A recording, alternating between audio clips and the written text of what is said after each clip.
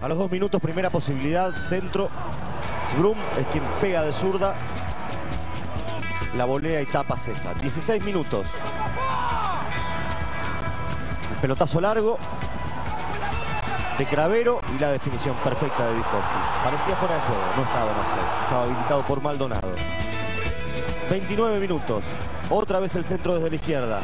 Cabezazo de Visconti, la gran figura del partido, tapa César. César por algunas intervenciones y Romero por la actitud fueron los mejores de gimnasia. El remate de Juárez antes del final del primer tiempo. Se va muy por arriba del travesaño. 31 minutos. Saca Capogroso. Pelea Jonathan López. Le queda Visconti. Acomoda ese jueguito con la derecha y saca el remate que se va cerca. Hasta aquí todo de Rafaela. Lo mejor de gimnasia iba a estar en el final del primer tiempo. Todavía quedaba esta de Juárez. Y esta buena respuesta de César decía, lo mejor de gimnasia, dos situaciones en el final del primer tiempo, los últimos cinco minutos. Esta es la primera, un pelotazo largo que sale desde el fondo. Se acomoda Romero y tapa Capogroso. Esta es la jugada a la que hacía referencia recién con el partido 1 a 0.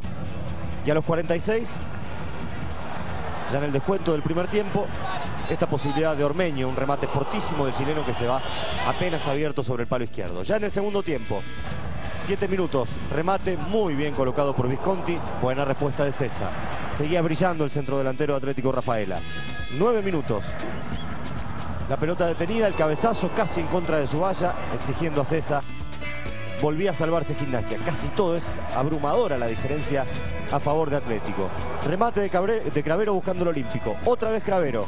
Engancha para su derecha, pierna menos hábil. La pelota adentro, solo, absolutamente solo. Un anticipo formidable y la definición sencilla a un toque de Visconti, el mejor jugador de la cancha. Salida de César, defectuosa. El ataque y el centro perfecto para la volea de derecha otra vez de Visconti. Un saque de arco apurado de César termina en esa resolución. Perfecta del centro de Serrano y en la definición fascinante de Visconti para cerrar una tarde gloriosa, como ninguna. Me contaba recién Martín Perazo, pensar que alguna vez Visconti era suplente en Aldo Civi y suplente, claro, en Aldo Civi de Mar del Plata.